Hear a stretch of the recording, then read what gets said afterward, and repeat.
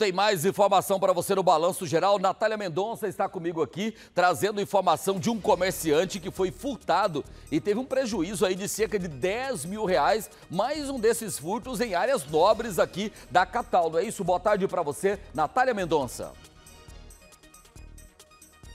Loares. Boa tarde para você, para quem acompanha a gente. Eu estou falando ao vivo aqui do setor sudoeste. Na verdade, Loares, se trata de um escritório de contabilidade. O Roger está aqui, é o responsável pelo escritório. Roger, você estava me dizendo que ontem, domingo, hoje, segunda, você chegou para trabalhar. Quando você chegou, você já percebeu que tinha alguma coisa errada, né? O que, que você percebeu aqui? Boa tarde. Boa tarde, exatamente. A gente chegou hoje para trabalhar no período da manhã e eu já me deparei com o portão já arrombado, a porta arrombada e alguns pertences que foram furtados no período da noite, no dia de domingo ontem. Vamos contar do comecinho o que, que teria acontecido ali no portão? Mostra pra gente como é que ele tá agora. Geralmente você passa uma corrente aqui. Isso, eu passo uma corrente aqui, certo? Eles é, arrombaram, esse, tanto é que aqui, ó, não, não volta, certo? Travou. Travou o portão. Eles... A corrente nem tá por aqui. Não, não tá por aqui. Foi levada também. Sumiu aqui, não sei. Entraram. A gente tem uma câmera, mas ela não filma, apenas tira fotos e adentrar o escritório aqui. Você pode vir aqui para a gente. Vamos entrar aqui também, o João vai vir logo em seguida. Aqui também é uma porta que você passa corrente ou só costuma trancar? Só costumo trancar aqui, aqui ele arrombou também, a gente teve que trocar aqui a fechadura. Foi hoje, o chaveiro já teve aqui.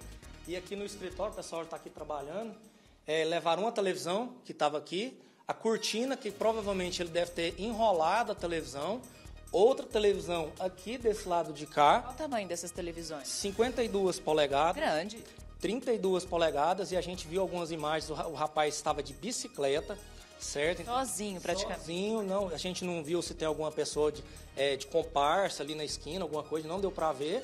E carregaram tudo ali para dentro também. Eles conseguiram arrombar uma outra porta, mas os pertences foram só esses. Duas... Dá pra gente mostrar? Dá, dá. Bem, vamos lá, vamos passar aqui pelo João pra gente poder mostrar. Dá licença, viu? Vamos mostrando aqui como é que eles agem, Loares, porque o que chama a atenção em toda essa história é o que o Roger tá dizendo. Tem como você acender essa luz? É que provavelmente essa pessoa que entrou aqui estava sozinha. Aqui ficava outro tinha, computador. Tinha um outro computador aqui, ele levou também esse computador. Deu tempo dele entrar aqui, Deu. observar tudo. Ele, deu, ele entrou em todos os cômodos da casa. E viu que realmente tinha valor. E viu que tinha valor e carregou aí um prejuízo aproximado de 10 mil reais. Mais alguma coisa aqui para dentro? Sim. Vamos lá então para a gente poder mostrar. Roubou duas televisões ali na entrada, computador que estava aqui naquela mesa, que é uma casa que eles usam como escritório, é muito grande, as casas aqui do setor sudoeste. Essa porta também é arrombada. Foi arrombada. Essa porta aqui foi arrombada, ó.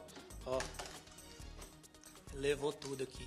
Dá para ver ele que está quebrado. É. E aqui, nesses quartos aqui de dentro levou mais alguma coisa? Não, só apenas só os dois notebooks e uma mochila também com HD externo que tinha algumas informações. Isso eu acho que foi o pior de todos. É difícil recuperar isso. Né? Demais da conta, mas Deus sabe o que faz, né? Bom, duas televisões, o computador e tudo mais, e você percebe que esse homem ele vai embora e volta em seguida? Exatamente. Nas filmagens a gente percebe que ele foi, levou uma televisão e com nove minutos depois ele retornou até o escritório para provavelmente levar as outras coisas.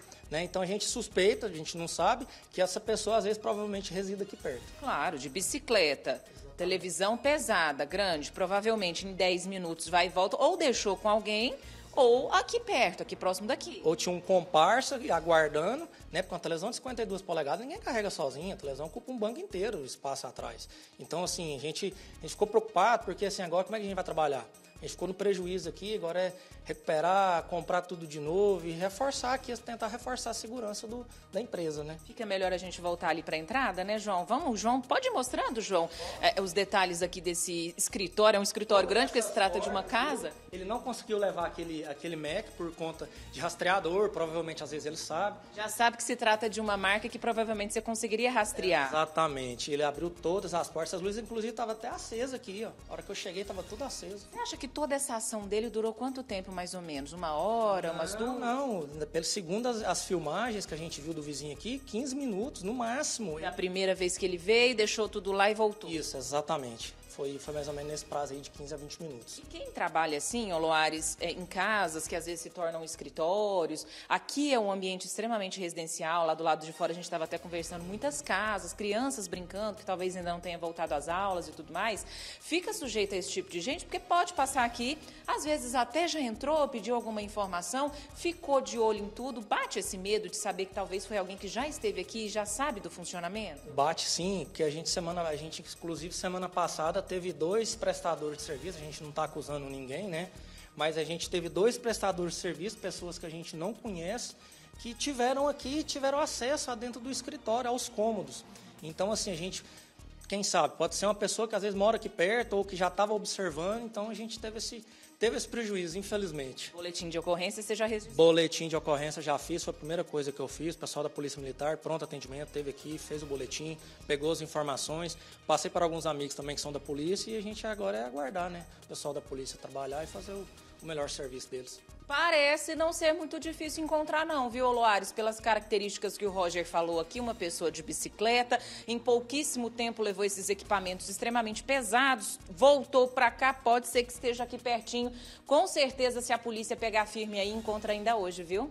É, quem, quem reconheceu, quem souber é, do paradeiro, quem sabe aí um pouco mais sobre esse camarada, pode ajudar a polícia, ligando para o 190, que é o telefone da Polícia Militar, 197, que é o Disque Denúncia da Polícia Civil. Muito obrigado, Natália Mendonça.